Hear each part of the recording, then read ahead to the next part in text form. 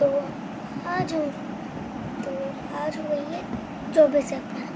और पच्चीस अप्रैल से रमज़ान तो आज मैं चाँद का रमज़ान चा, रमज़ान का चाँद तो नहीं देख पाया।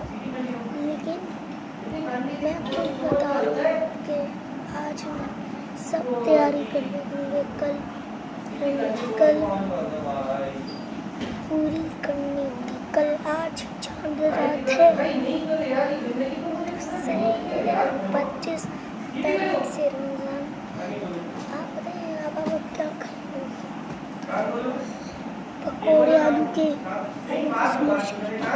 शरबत पकौड़े और हाँ तो मेरी पीछे है। इसलिए आप देख सकते हैं मैं इस मच्छर को मारता हूँ।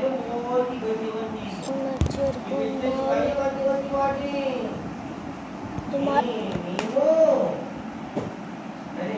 अच्छा अगर आपको हमारी वीडियो अच्छी लगती है तो like share subscribe